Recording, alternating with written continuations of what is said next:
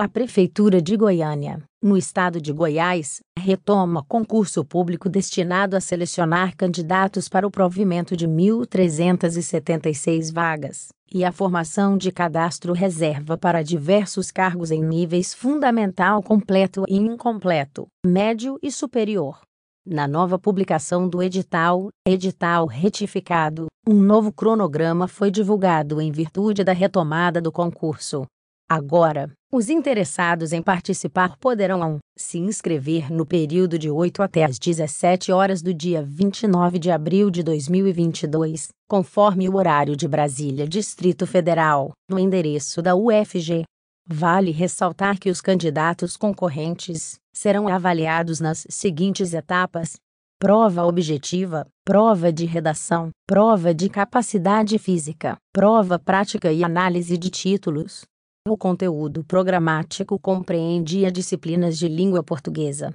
matemática, atualidades, história, geografia e conhecimentos gerais de Goiânia e do estado de Goiás, além de conhecimentos específicos e noções de informática conforme o cargo pretendido. Demais informações podem ser obtidas por meio dos documentos disponíveis em nosso site e, para lhe auxiliar nos estudos, adquira as apostilas digitais deste certame em nossa loja.